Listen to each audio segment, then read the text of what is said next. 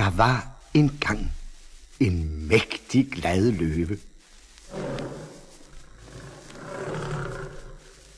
Den levede ikke på de farlige sletter i det varme Afrika, hvor jæger ligger på lur med deres bøsser.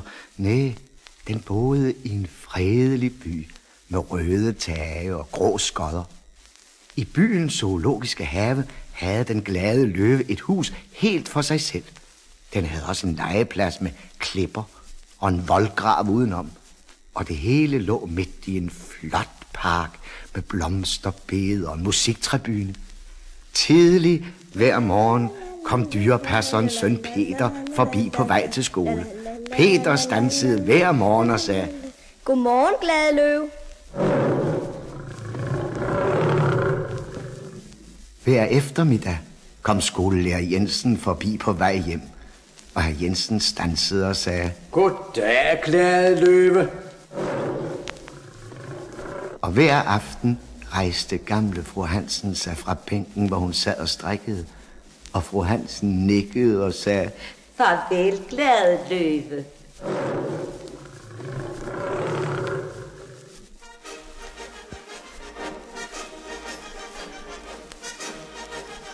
På sommersøndag marcherede byorkestret op på tribunen og spillede valser og polkaer.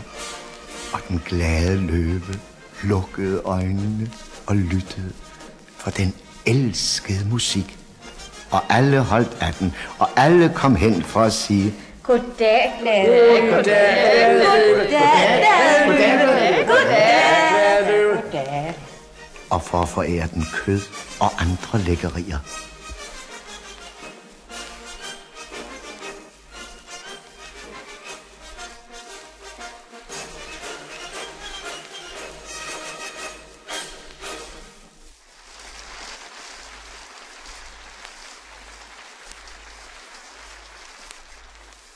Jo, det var bestemt en glad løve.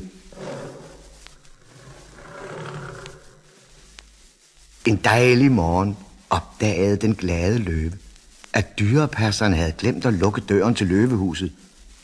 Sagde den, det synes jeg ikke om. En hver kan jo gå lige ind. Nu vel, sagde den lige efter. Måske skulle man gå en tur i byen og hilse på alle sine venner. Ja, det kunne da være sjovt at besøge dem, der har besøgt mig.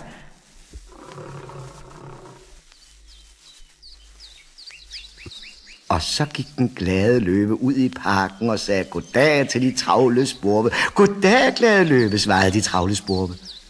Goddag, min ven, sagde løven til det røde rappeæren, der sad på sin hale og gnavede på en valnød. Goddag, glade løve, sagde det røde æren og gnavede videre.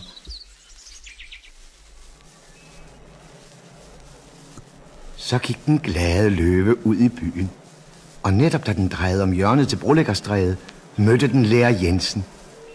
Goddag, sagde løven, og nikkede høfligt, som løver plejer.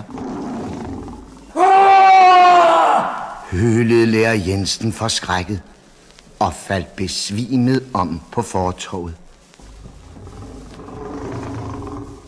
Det var da en skør måde at sige goddag på, sagde den glade løve. Og så vandrede den videre på sine store bløde poter. Lidt længere hen ad gaden mødte den tre damer, som den kendte. Goddag, damer, sagde den og lovrede med halen. Skreg de tre damer og løb bort, som om en trold var lige hælende på dem.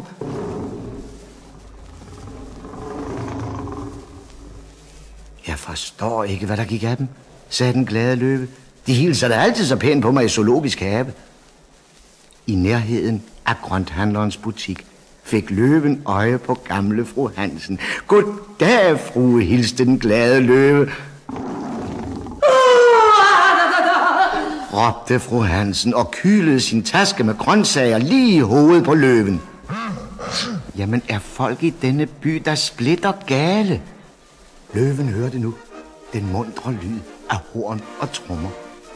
Den drejede om det næste gadehjørne, og der kom byorkestret marcherende gennem gaden med en hale af folk efter sig.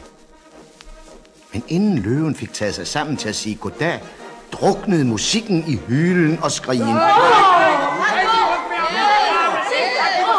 Sikke en ballade. Musikanter og folk tumlede rundt imellem hinanden og skjulte sig bag døre på caféer. Og snart lå hele gaden øde og stille hen. Løven satte sig ned og spekulerede.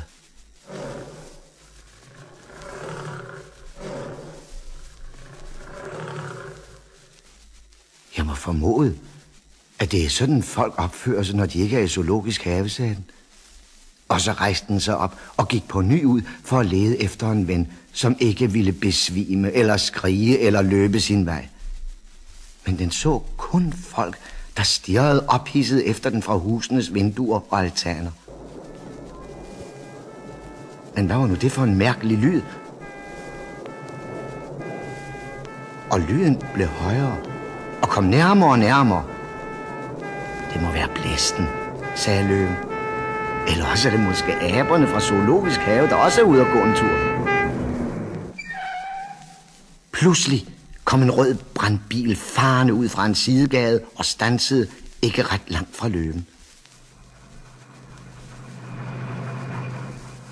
Og en stor politibil bakkede op på den anden side af den med bagdøren på hvidkab. Løven satte sig straks ned, for den ville jo nødig gå glip af, hvad der nu skulle ske. Brandmændene hoppede ned fra brandbilen og bevægede sig langsomt, meget langsomt hen mod løven, mens de trak den store brændslange efter sig. Meget langsomt kom de nærmere, nærmere og nærmere, og brændslangen krøb fremad som en vældig hugorm, længere og længere.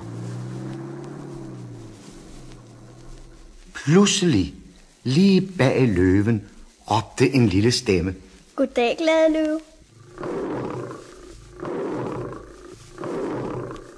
Det var Peter, dyrepasserens søn, der var på vej hjem fra skole. Han havde fået øje på løven og var straks kommet løbende.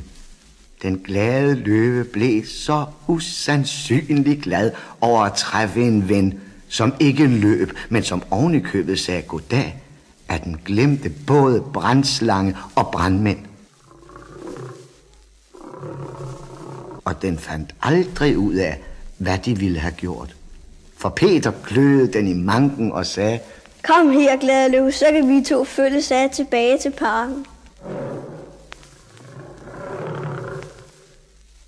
Og så gik Peter og den glade løve tilbage til zoologisk have. Og brandmændene kørte bagefter dem i den røde brandbil. Og nu råbte folk til dem fra vinduer og altaner. Goddag! Og fra den dag fik den glade løve den lækreste mad folk i byen kunne skaffe. Men åbnede man døren til løvehuset, havde den slet ikke lyst til at gå ud på besøg igen. Den ville meget hellere sidde i sin dejlige park. For på den anden side af voldgraven stod skolelærer Jensen og gamle fru Hansen og alle løvens andre gamle venner, og de hilste høfligt og venligt og sagde,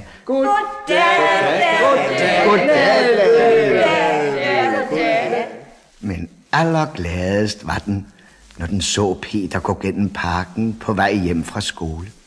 Så lovrede den med halen af lutter glæde, for Peter blev ved med at være dens aller, aller bedste ven.